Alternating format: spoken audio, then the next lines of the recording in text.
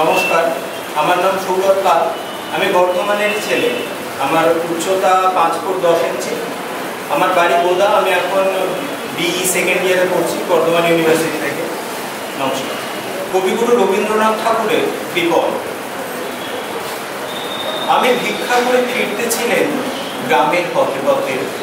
তুমি তখন চলেছিলে তোমার সর্বরথে অপূর্ব এক স্বপ্ন সম লাগতেছিল বিচিত্র শোভা তোমার কি বিচিত্র সাজ আমি মনে ভাবতেছিলেন এখন মহারাজ।